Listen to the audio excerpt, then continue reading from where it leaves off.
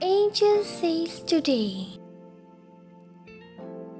My family opinion about you. While you may want your family to think as highly of your partner as you do, this isn't always the reality. In fact, your family may intensely dislike and distrust her, and even though you may see her as a drop of sunshine, they may view her as a dark cloud hanging over you. At the same time, your family may be completely enamored with your partner, and their positive feelings toward her can be powerful enough to influence your behavior going forward. In particular, their reaction can further strengthen your affection for her and perhaps even help you to see her as someone who's truly marriage material. On the other hand, so to speak, when your family is not mirroring back the admiration that you feel towards your partner, you can end up second guessing yourself. And rather than popping the question, you may feel that you should put a stop to your relationship instead.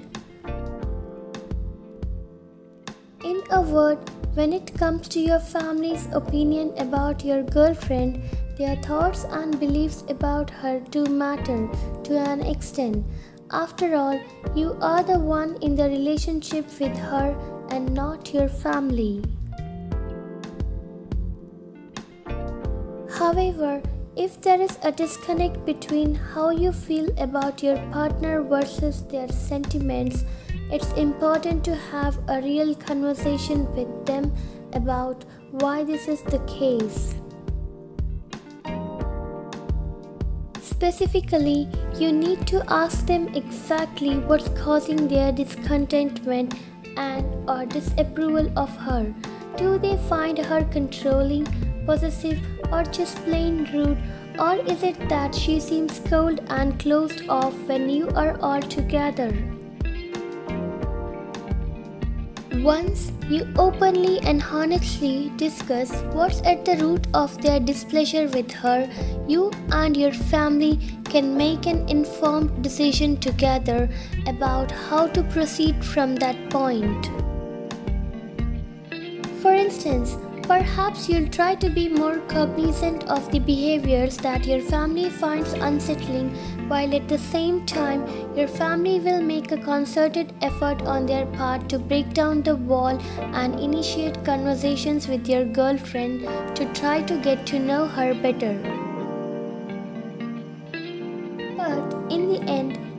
Important to remember that the decision to be with your partner has to come from you and you alone.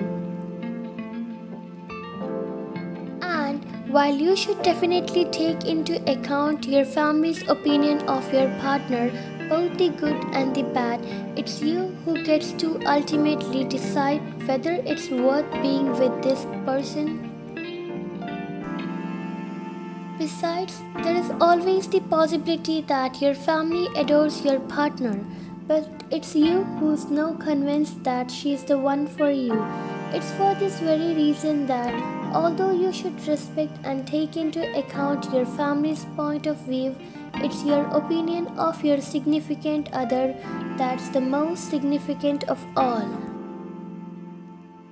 Thanks for watching. Please subscribe.